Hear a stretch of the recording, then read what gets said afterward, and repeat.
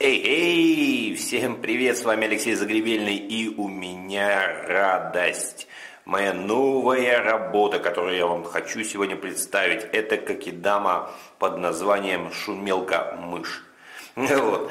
А, на самом деле, я очень давно хотел себе травянчиков, ну, таких травянчиков, чтобы прям вот травка была очень высокая, вот, и чтобы влаголюбивые, прям вот, чтобы вот э, залил воды и мини-прудик у тебя, с одной стороны, там такой аналог аквариума, и одновременно увлажнитель воздуха.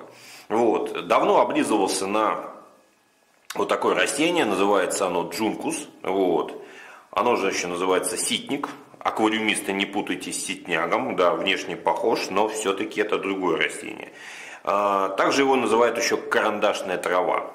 Вот. В продаже я на него напарывался редко, то есть э, увидишь, да, вроде как это самое хочется, да, и колется. Вот, кстати, колется э, кончики у этой травки, так что будьте осторожны, те, у кого, кто решит себе такую же приобрести, вот, берегите глаза. Значит, э, но на подоконнике, как говорится, мест резиновых нет. Вот. Все время какие-то комнатные растения, орхидеи, все, все это, все, что вроде как любимое, нужное, все занимало место, а куда приткнуть-то этого бедного джункуса, травку-то вот эту вот красивую. Вот. Естественно, некуда было. Вот. Ну и чтобы не мучиться потом с освещениями лампами где-то на рабочем столе и так далее, ну, приходилось отказываться от идеи приобрести его и выращивать у себя. Вот. А тут э, новая квартира, широкие подоконники. Вот. Э, мест для орхидей много, э, свободного места много. И решился наконец-то, и плюс мое желание совпало с возможностями, наткнулся в продаже в Ашане на это растение и тут же его приобрел. То есть все, даже не задумываясь, все беру, джункус себе, вот, и буду делать из него кокидаму. Значит, э, второе растение, которое здесь высажено, вот вы видите вот такие вот засохшие кончики, это циперус альтернифолиус, э, сорт Зумова. Вот. Чем он отличается от обычного циперуса альтернифолиуса? Тем, что не 90 сантиметров вымахивают, а всего лишь 50. Ну, надеюсь, что у меня, по крайней мере, он будет таким заявленным компактным. Пока что ему здесь некомфортно, вот. Но подсыхают исключительно только кончики листьев. Я думаю, что адаптация пройдет и все будет замечательно. Напомню, э, этой кокидаме всего лишь две недели от роду. Вот, поэтому здесь все еще никак до конца не устаканилось. Э, ставил ее на восточное окно причем на створку, которая смотрит на юго-восток, там не понравилось ни Циперусу, ни даже Джункусу, который очень светолюбивое растение. Вот, пришлось подвинуть к восточной створке, вот, через неделю пришел, а я могу только раз в неделю посещать э, новую квартиру, вот, пока здесь ремонт, пока еще не переехали, вроде бы как никаких негативных э, вещей тут не наблюдается. То есть вот то, что подсохло в прошлый раз, оно вроде как и здесь осталось. То, что не успело засохнуть, вот зелененькое по-прежнему. Значит, вы видите хинодорус? Нет, и я не вижу, а он есть. В самом центре этой композиции, там в глубине, не знаю, отсюда увидите вы или нет, вот такая вот маленькая шмакозявочка, это остаток от эхинодоруса – Хинодорус Блехера, по-моему, я покупал. Вот, высадил его тоже в качестве эксперимента. Эксперимент заключается в том, что сажал я его сразу в сухую. Все. То есть э, без всяких тепличек, перевода, там, влажности, все. У меня не было такой возможности куда-то его поставить в какую-то теплицу. Все теплицы забиты орхидеями.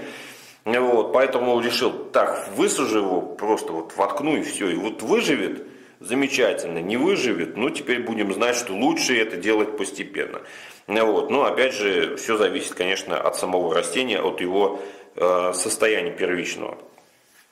Все, лист, вся листва, вот буквально через неделю приехал, она уже была сеном. То есть, э, конечно, засохли листья не до самой розетки, там буквально полтора, у кого-то два сантиметра, не достигая розетки, остановилось засыхание. Срезал все сухое, все сено срезал. Молодые листики тоже все просто засохли там подчастую. Вроде бы как что-то там сейчас намечается, какой-то вот то ли побег. Может быть, конечно, это кусок Э, от э, черешка листового, э, который еще там не засох. А может это новый листик лезет. Посмотрим. И четвертое растение, которое высажено здесь в Кокидаму, это, собственно говоря, длинностебелька. Вот, прошу любить и жаловать. Денежник золотой, он же монетница. Вот. То есть высажено по методу компании EDA, вот, по методу, описанному э, господином Амана в патенте на вабикусы. Плошка. Плошка 20 сантиметров диаметром и 20 сантиметров высотой. Зачем я брал именно такую высокую? Ну, для того, чтобы, во-первых, много воды можно сюда было налить. И вода, испаряясь, увлажняет воздух, а рядом, замечу, замечу стоят орхидеи. Им влажный воздух полезен.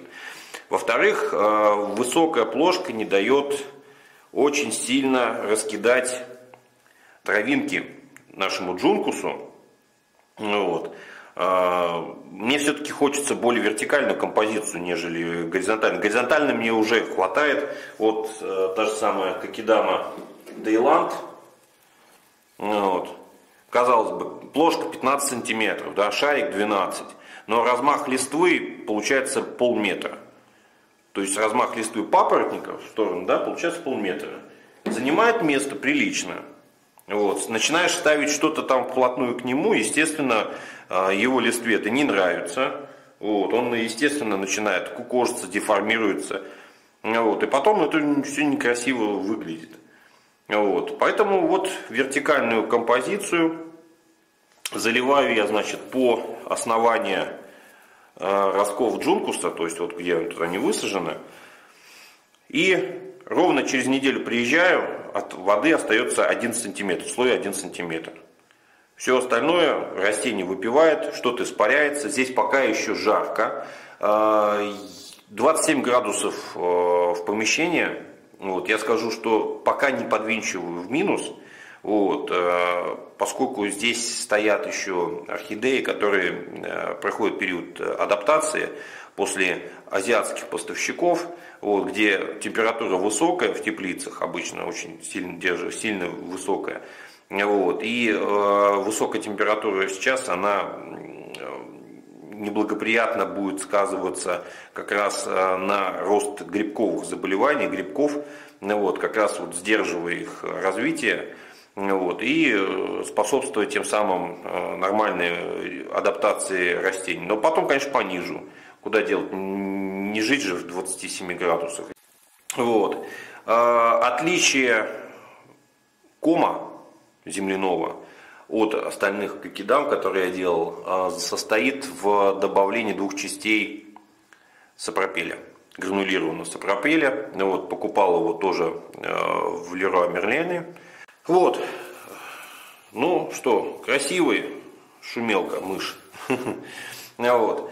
А теперь про э, вабикусы, ребятушки. Вот я упомянул, да, вот способ э, посадки. Вот, кстати, если вот, не знаю, через стекло видно, нет, поближе поднесу. То есть вот из каждого узла, почти что из каждого узла лезет э, росток лезет новый стебель. Некоторых, кстати, даже вот, вот здесь два стебля, два стебля новых, вот тут вот тоже два. Вот. То есть это как раз способ, один из способов получить большое количество ботвы у длинностебельных растений. Вот, а я с вами прощаюсь, всех обнимаю, всех люблю, все, пока, ребята, пока.